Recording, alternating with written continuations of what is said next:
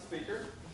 Yeah, so it's an honor to finish off the conference. Uh, hopefully you're able to stay awake. Uh, it's been a long day and uh, I have a lot of information I'm gonna throw at you. So uh, let's get through this. Uh, so yeah, my talk is about uh, doing software updates on embedded Linux. So a quick session overview. I will do a quick intro on myself. And then we're going to go through some uh, basic uh, concepts of doing software updates on embedded Linux. Uh, and then we're going to try to take a look at the open source uh, ecosystem around software updates, uh, the existing projects that exist uh, out there. And we'll focus on which strategy, strategy they employ, which, key, which are the key features of each project, and also take a look how active the community is or how big the community is around this project. So quickly about me, uh, FOSS enthusiast, of course, I'm here uh, speaking.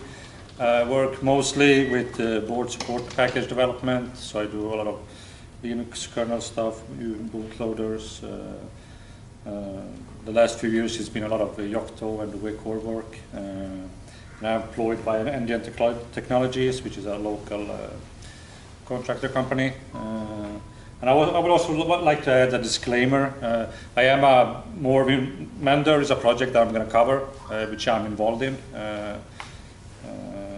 in the community. So, but I would try not to be biased when comparing it to the other ones. So, but you, you know that. You know that. So, embedded Linux devices. Uh, question is, yeah, what's an embedded Linux device? Well, nowadays Linux is in everything. So in public transport, in trash cans and faucets, or, or for some reason.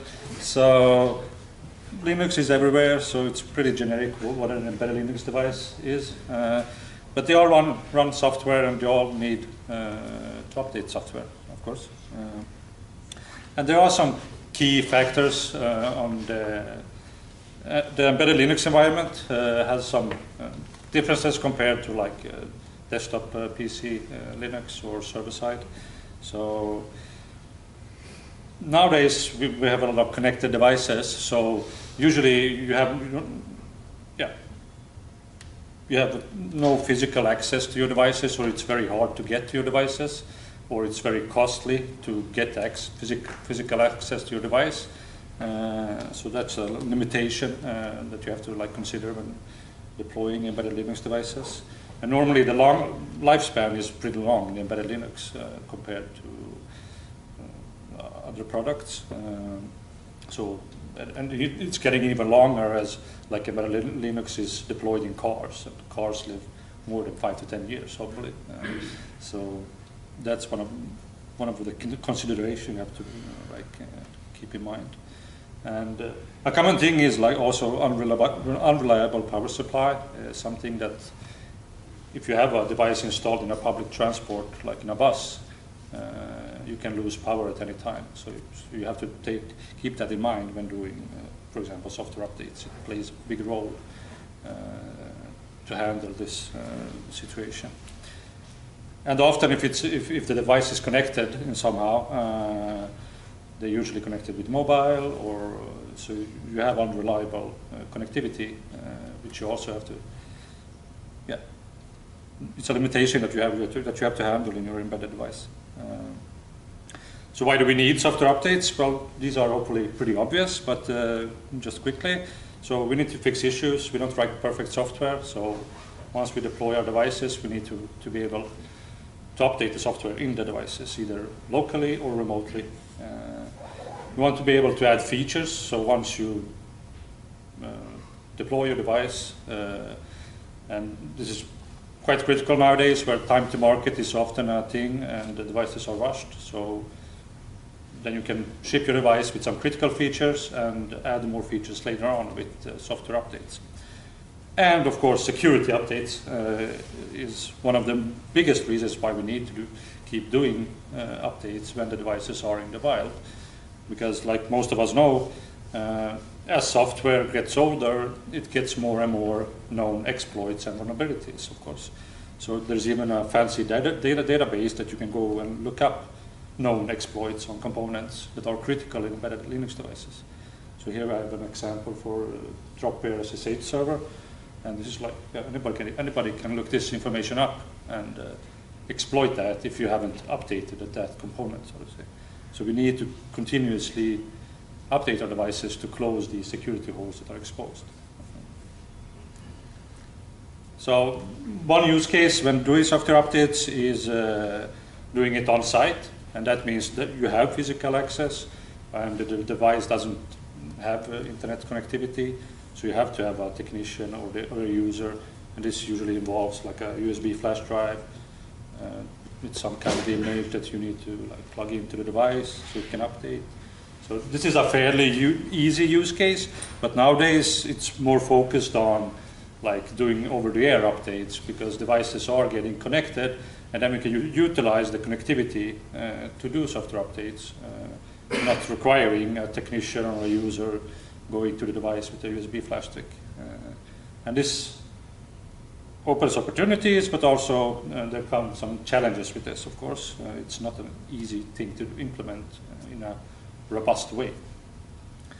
But when you do software updates over there, you, you usually need some kind of deployment management server where you can manage your devices and deploy the software updates to the device.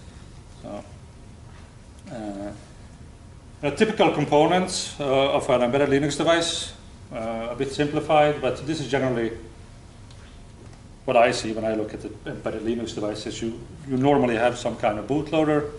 Uh, most cases it's U-boot.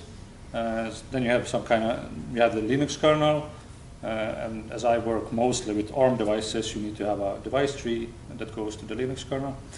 Uh, then you have your root file system, uh, the distribution part, and with this mean, uh, with this I mean like your init manager, your network manager, and all the software that you don't actually write, you just rely on this functionality to be there in your Linux distribution.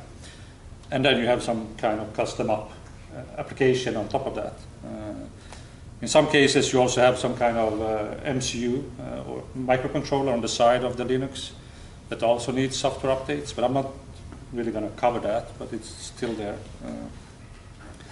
so some basic requirements that you need when you do software updates. Uh, uh, we have some requirements, of course. Uh, so you need, you need to be able to update all the co components uh, that you have. So you need to update, be able to update the Linux kernel because the Linux kernel also has vulnerabilities over time uh, that are exposed. Uh, or you need to, new features enabled in the Linux kernel. The same with the device tree. Um, so you need to be able to update each. And normally you don't update the bootloader because that's a single point of failure and you don't really there's no way to build in uh, redundancy in that. So if that fails, your device becomes a brick. Uh, and that's the second most, like, uh, a software update it shall not be able to brick the device ever. No matter what happens, if there's a power loss or if there's, well, whatever you do to the device, like during a software update, it should never render the device useless because I removed the power to it. So to say. So that needs to be taken care of, of course. Uh, atomic updates, that means when you do a software update, it can't be 50% successful. So it has to either be fully installed or nothing. Uh, because even if you, if you have an update system that isn't atomic, you can update 50% of the system and it's still bootable, but then you introduce weirdness because you, don't really know what's updated, what's so it has to be atomic. Uh, rollback, so, so that's a, like if up, if you're middle in an update uh, and you remove the power, it should revert back to the, to the working software that was there before. That's not, not always possible, so we're going to get into that a bit more later. Uh, and you need some basically basic integrity checks, like checksums on your uh, update images, so they are not corrupted when you are transfer them to the device.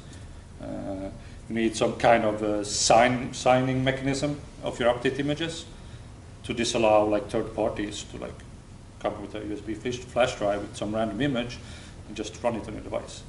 So usually you sign these kind of images so it's so they are from a trusted source and you only run that if it's signed, so to say.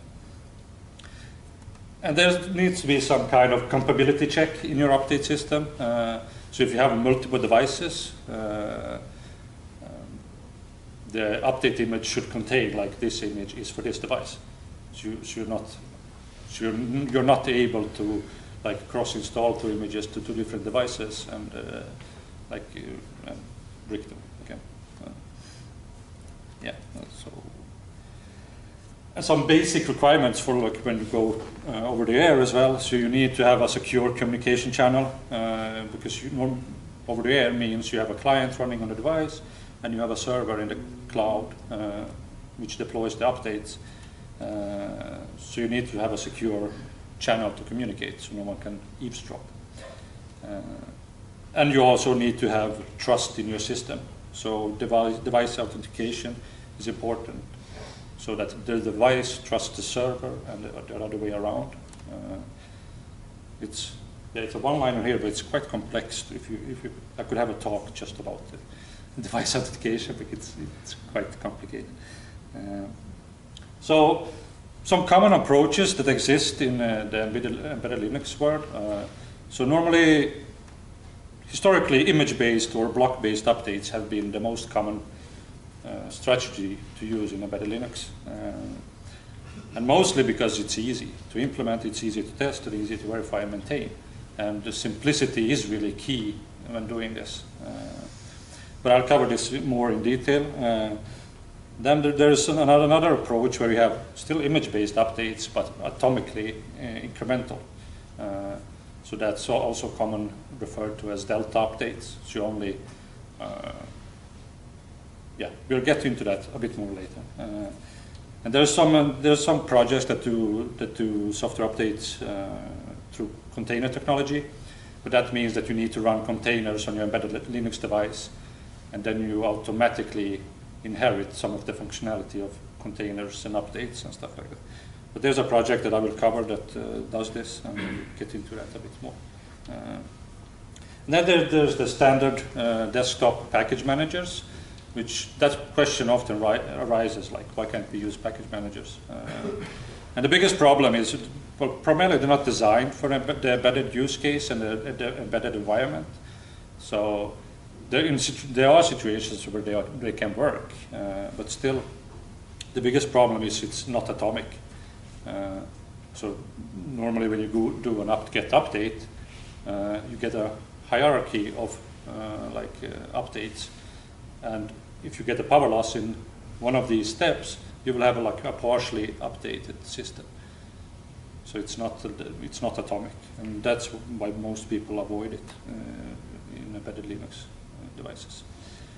And there's some complex complexity to handle packages as well uh, in testing and um, to manage a package feed for your embedded Linux device.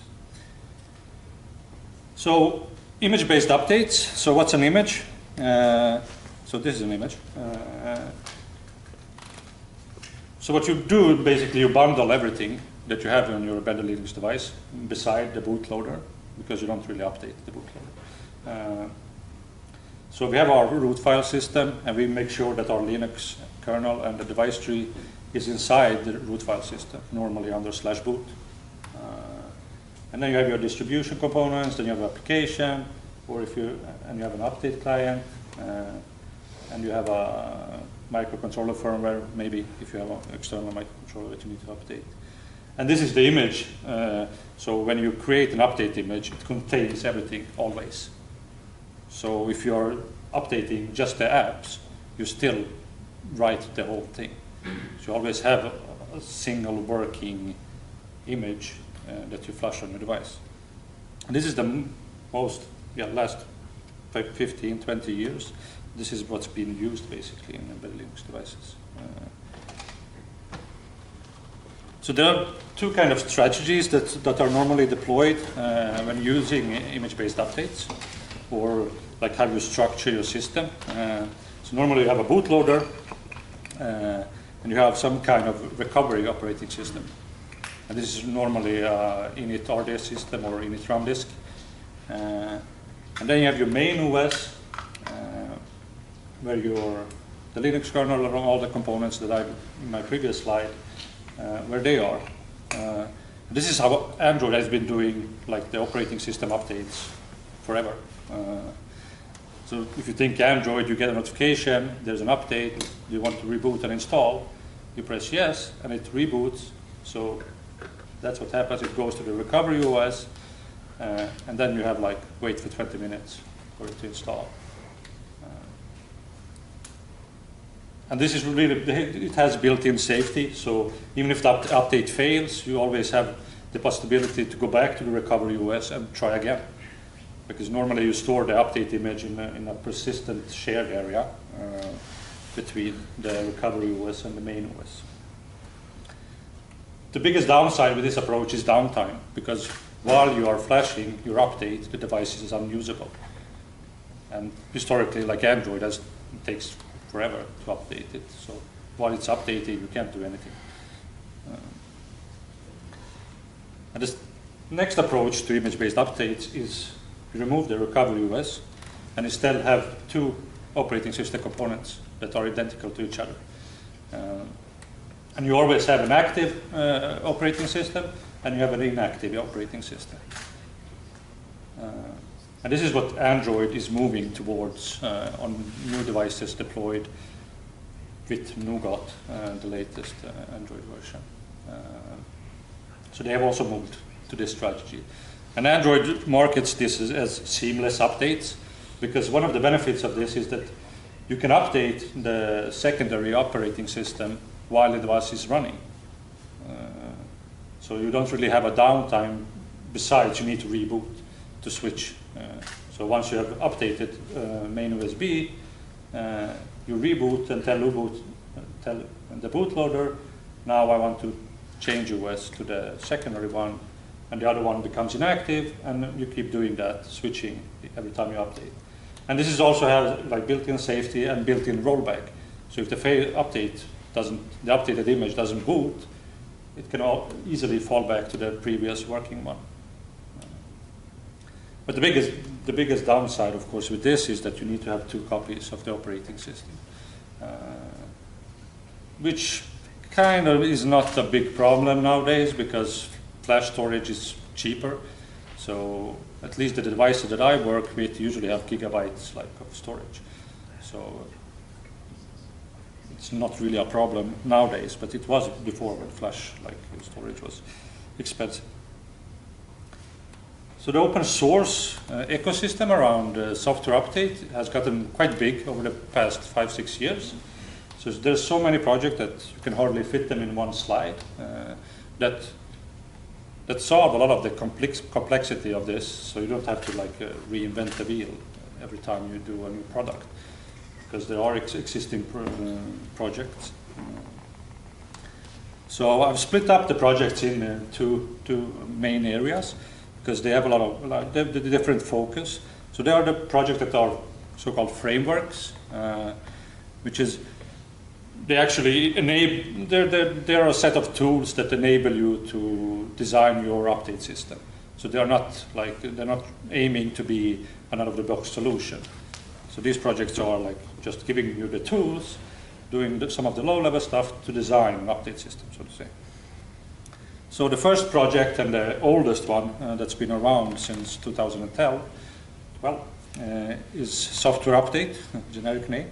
Uh, so it came out of uh, DENX, uh, the German contractor company, uh, which is also behind U-Boot. Um, and Stefano Babic, who works there, is the creator and maintainer of this. Um, so basically what it is, it's a update agent uh, that's written in C, so and it's licensed under GPL v2. Um, and it also integrates like tooling to create an update image uh, that you want. Uh, this project focuses on uh, the symmetric and asymmetric image-based updates only. Uh, and in some cases it can actually do like single file updates or single, so you can really, it's like Flexibility is one of the aims of this project, so because it is a frame framework more than a out-of-the-box solution. Uh, and one of the cool features of this is it has an integrated web server uh, the update agent. So if you deploy this on the device, you have a web server uh, already there to upload new updates, so to say. So you just, like, uh, through the web browser, you can upload images, which removes the need for the flash drive, which is a nice, nice feature. And uh, most, and of course, it supports like cryptographic, cryptographic signing and verification of updates. Uh, and it works on all the file systems. Uh, it has a Unix socket interface to get to read out some status information. So like progress bar of an update, uh, you can read that through a uh, Unix API. Uh, and all these projects need to integrate with bootloaders. So, and software update integrates well with U-boot, Grub, EFI. Uh, and for integration, most of these projects, and even software update, focuses on Yocto. So there's Yocto layers to get started quickly, so to say. And it's also Buildroot support. Uh, it also uh, it's extensible with over-the-air updates because it, it, doesn't have a built-in over-the-air update technology. So it's just on the device. But it's extensible to talk with something that's called a Hawkbit. I will cover that a bit later. But it's Hawkbit is an open source server component for over-the-air updates.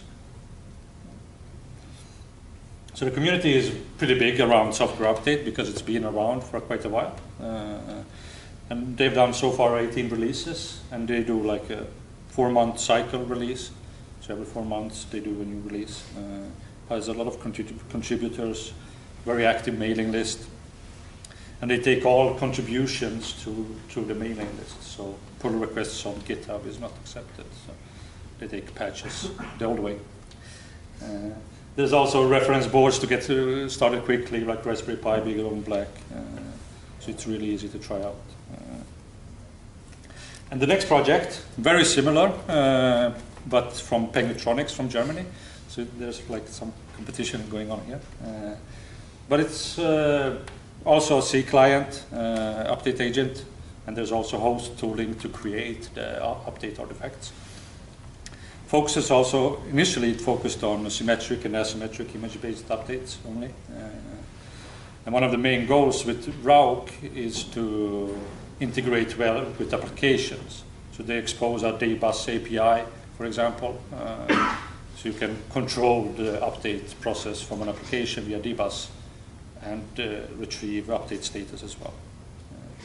There's an experimental features to do uh, Delta updates as well with casync, uh, but it's still marked as experimental. And as I said, DBus interface, it works with all the common storage mediums found in uh, embedded Linux devices. It works well with uh, the most common bootloaders uh, that exist. Also has a Yocto layer for integration and also connects to, is able to, co to connect to Hawkbit for over-the-air updates but they provide a Python library uh, for that. Uh, and something that they have done really well is they have a solid test infrastructure on their update agent. So there's a lot of unit tests. They have around 70% code coverage, which is always nice uh, that they are testing. But it's fairly, it's not been around as much as a software update. So they have only done six releases and it's still not 1.0, so that tells us something maybe. It's not really, um, but they do take contributions and uh, like issue handling is uh, managed on GitHub.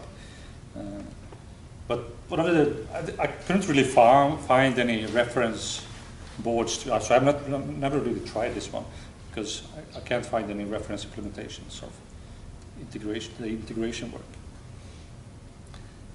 So quickly just Hawkbit. I'm not that, this is a Eclipse Foundation project, so it's a standalone server component to manage uh, like over-the-air updates for uh, IoT. Uh, and this is what like the software update and Rauc uh, integrate with. So they're like they're standalone components, uh, but this exposes an API that uh, they can utilize. But it's fairly, it's based on Java and the Java Spring Boot. So these are technologies that I'm not very familiar with. So it's, I've never really tried to set this up myself because it looks complicated. There's a lot of things going on. Uh, so The next project, uh, we are still under framework project that are not like end-to-end solutions. So libostree uh, often described like uh, Git for op operating system binaries. Uh, and the reason behind the description, it's, it's the tooling around the libostree is very Git-like. So you do Git pulls and Git stuff like that, or OSTree pulls.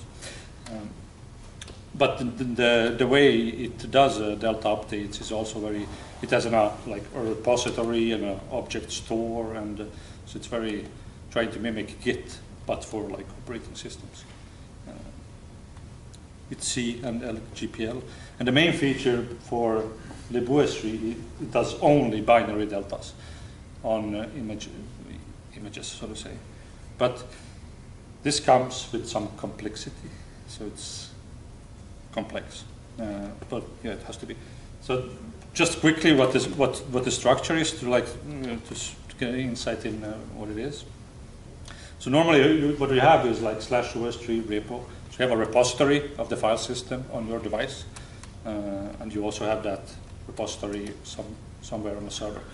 Uh, then you have some uh, kind of structure where you have deploy, and then you have different deployments. Uh, and what they actually do is like slash user uh, is the only directory that OSTree manages. So everything has to be in slash user if you want to be able to update it. But slash user is only hard links to the OSTree repository. Uh, so it kind of deviates a bit from the like standard Linux uh, structure that you're familiar with. So you have to adopt, adopt your system to this uh, quite a bit. And you normally you need to boot to an uh, initramfs to change routes to the uh, deployments. And then also slash var is like where you store the persistent state. So if you want to keep things between updates, that's where you store it. Because yeah, libostree doesn't do anything with that directory. Um, it has some problems, uh, according to me. it, it, it, came, it's, it's targeted for uh, PC running Linux. Uh, and it came out of a project called GNOME Continuous. Um, so it didn't really, like, uh, the embedded use case wasn't there from the beginning. Uh, but people have adopted it for embedded because Delta updates is really good if you have like a limited bandwidth, bandwidth on your mobile network, for example. But there's also Yocto integration. Uh, there's a meta updater layer. Uh, and the re reference views, you can try it out quite quickly on a Raspberry Pi. Um, so these are some of the projects that I've ado adopted libostree. So it's mostly like, like you know, continuous is where it started. Uh, and you have Flatpak, which is a package manager for desktop. Uh, and you have something called Project Atomic, which is also um,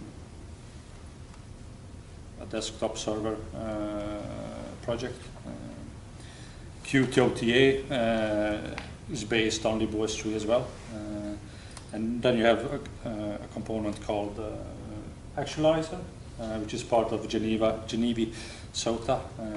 I will cover that project a bit more later on. Uh, just quickly, there's another project called Software Update, but moving to a generic name again.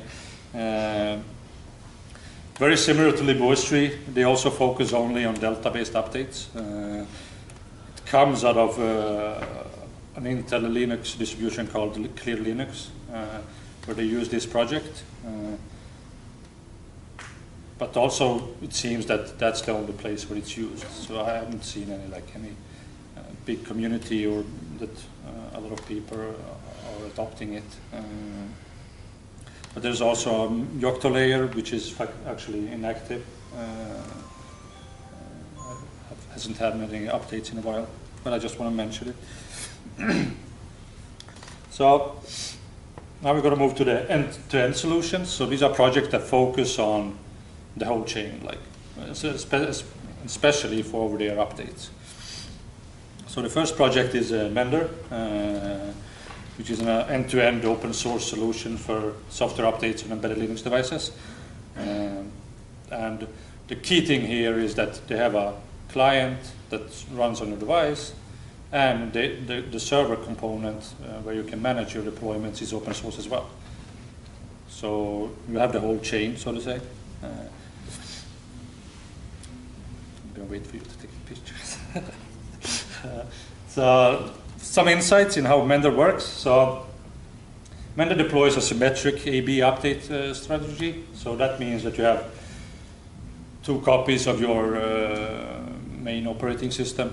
Uh, but as I said, they, the whole chain is open source. So you have a management server where you connect your devices and where you can manage uh, deployments and uh, send them out, so to say. And some of the key things is uh, the, the, updates are streamed from the server to the device, so they're never uh, intermediately stored. Uh, that's one of the benefits you have with two operating system. Uh, you can just stream the update to the inactive part, so you have to store it locally. and they, of course, also support signing of update images and stuff like that that are quite basic things that, that need to be supported. Uh, so Yocto integration, again, most of these projects focus on like integrating well with Yocto.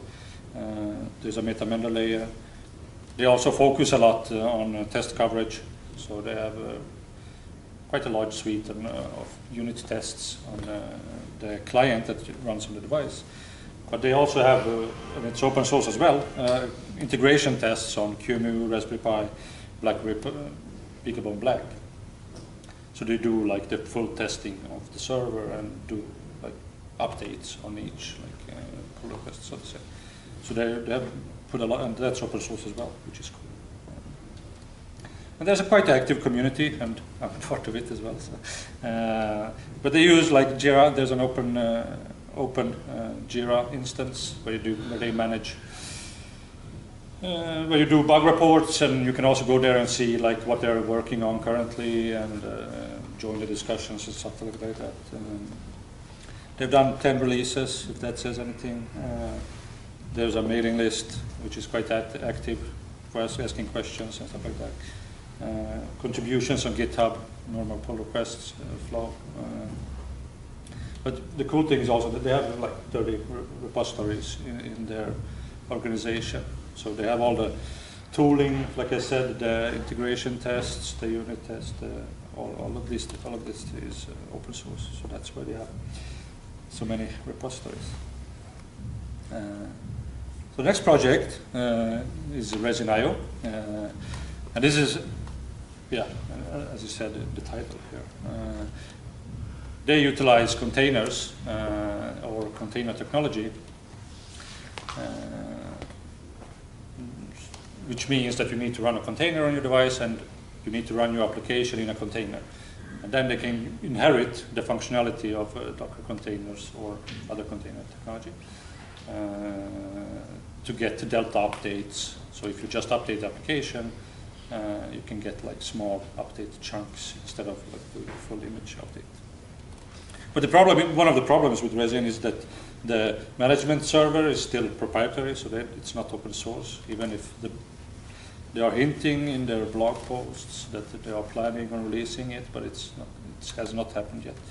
Uh, but they have open sourced the Resin, uh, the Resin OS, which is the operating system that you run on your device with, uh, where you have the container technology, so to say. So you can build something uh, quite easily.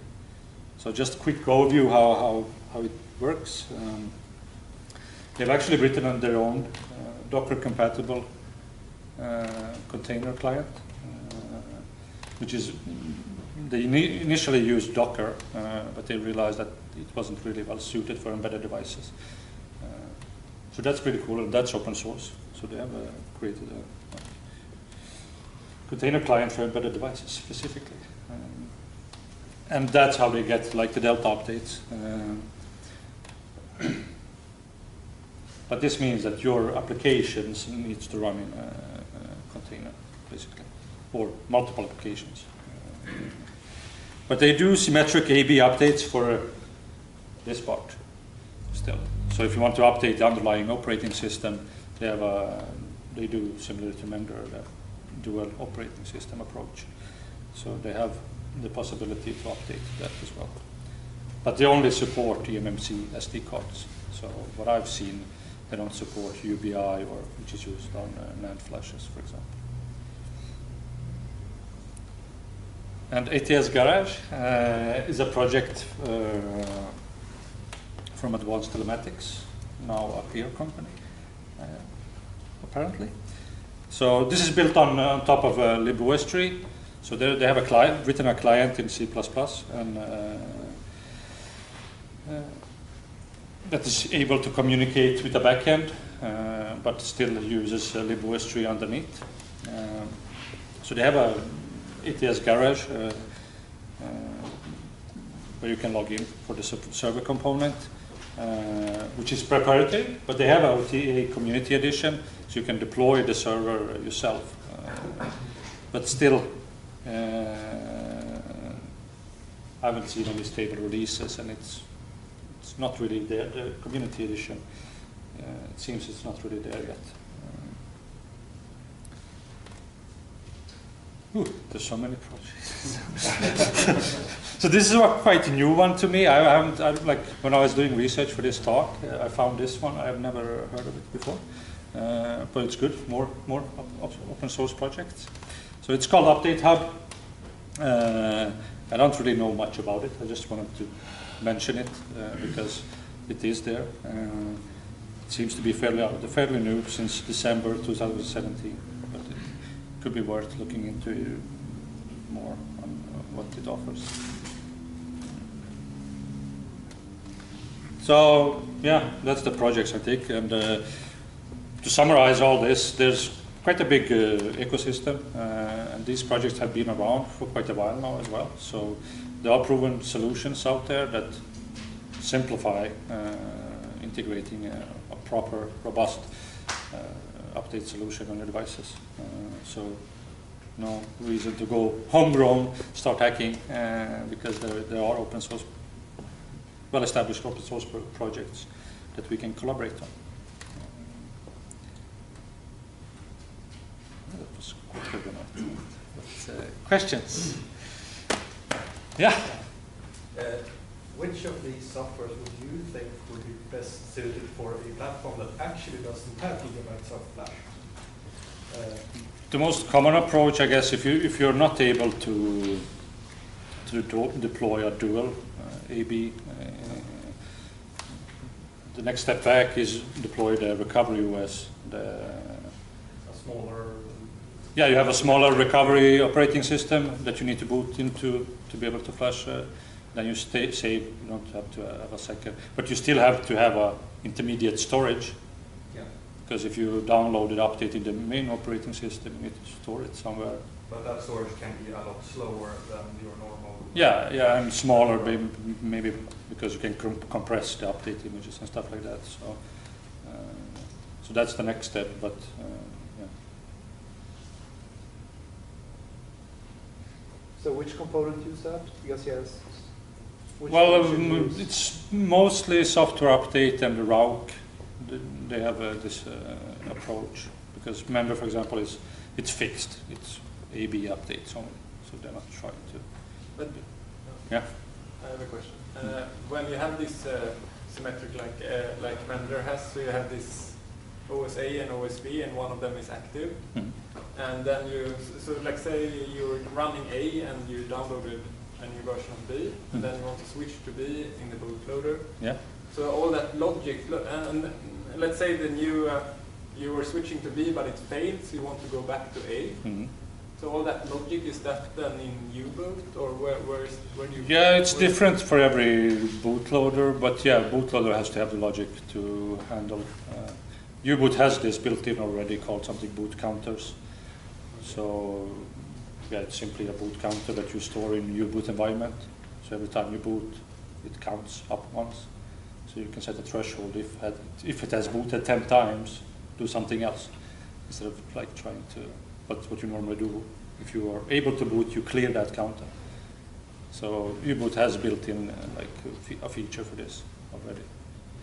Uh, I'm not quite sure how, how you would handle it in like Grub or uh, other bootloaders. So if I want to do like this, maybe you can go to the symmetric OS update slide. There was a mention about the, you know, the bootloader part. that is a bit- Yeah, there was so many slides. Yeah, Yeah, Yeah. and if I want to do this OS A to B update, but I want to skip the bootloader, let's say if I have a very old bootloader that pre-device tree days, mhm, and I want to have a new kernel with device tree and everything, mhm. can I keep the same bootloader and update to the new kernel and the new? Yeah, yeah. The only features that you need in the bootloader is like just mentioned the the boot counter feature, so that you can set uh, like if this boot fails. So if if you update main USB and it tries to boot it, uh, but it like it fails, and there needs to be some logic to revert back. That and this is usually uh, handled in uh, the bootloader. So bootloader does, does not need to have a device tree support or anything. No, if, if it's able to boot your device without this, uh, yeah, it should work. So it's just that feature that you need.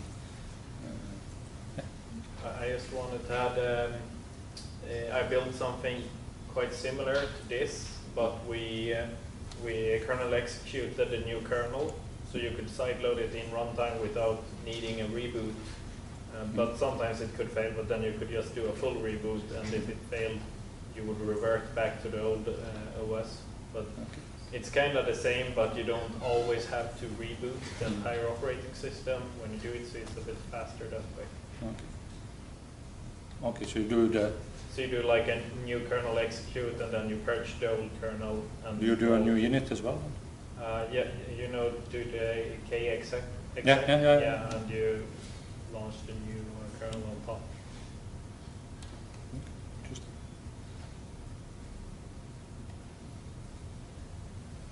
So your condition for uh, deciding that the update is okay is that essentially that it boots?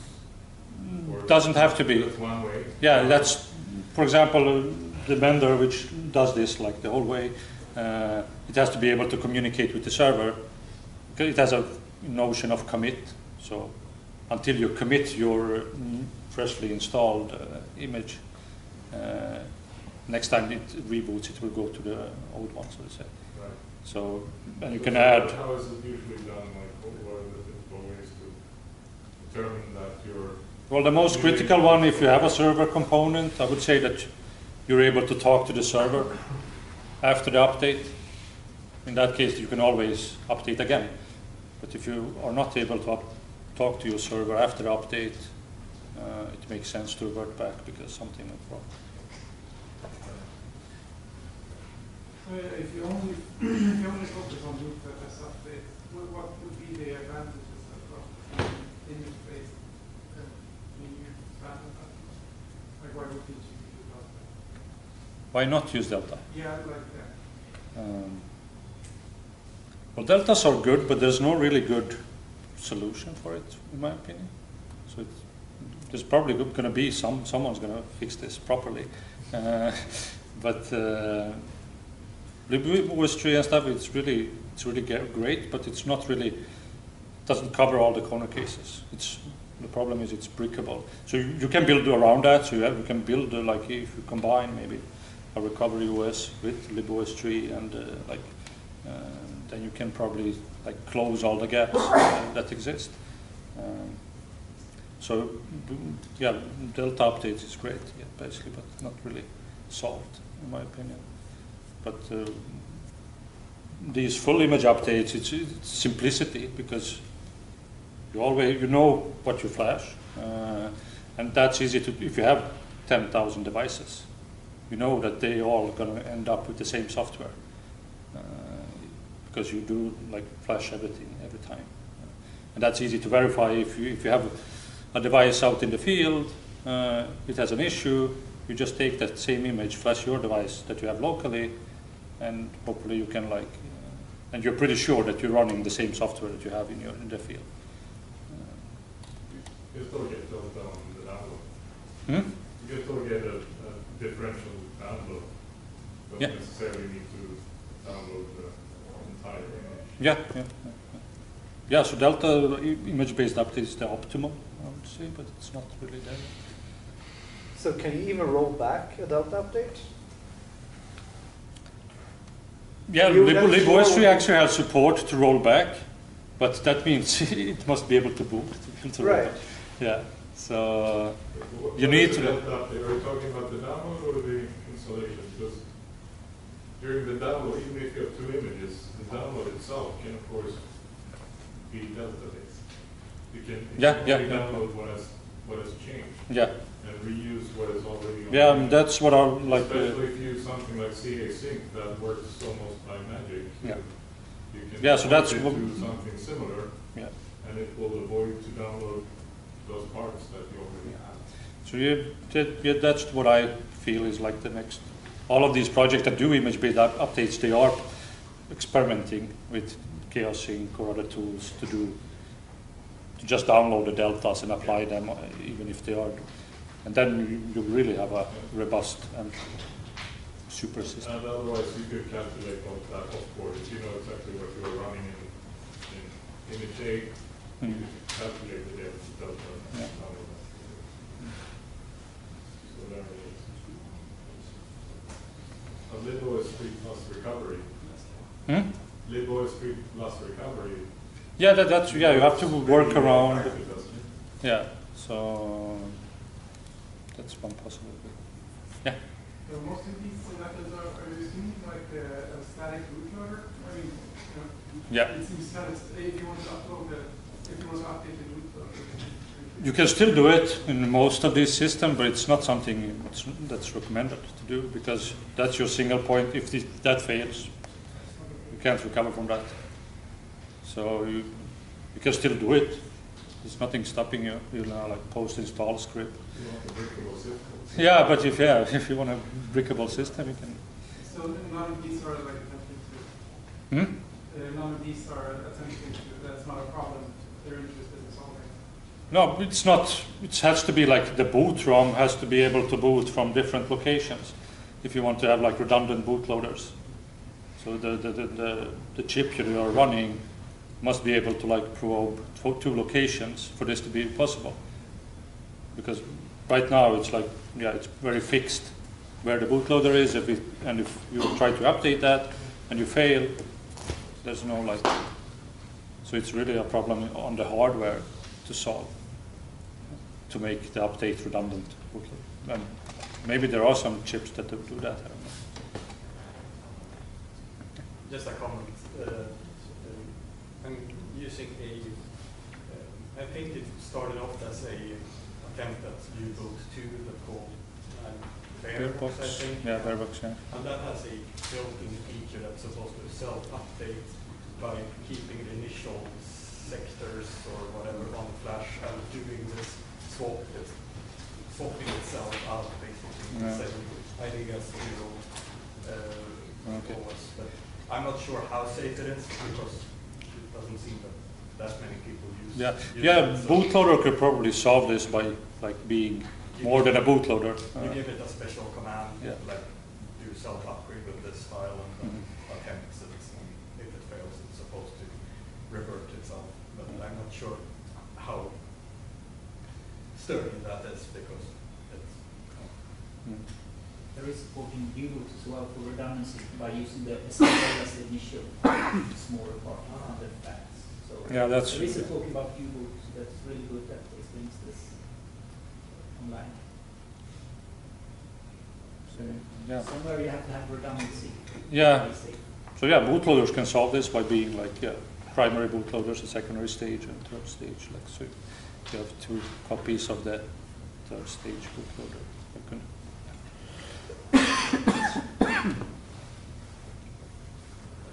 Any more questions? I like questions. Thank you.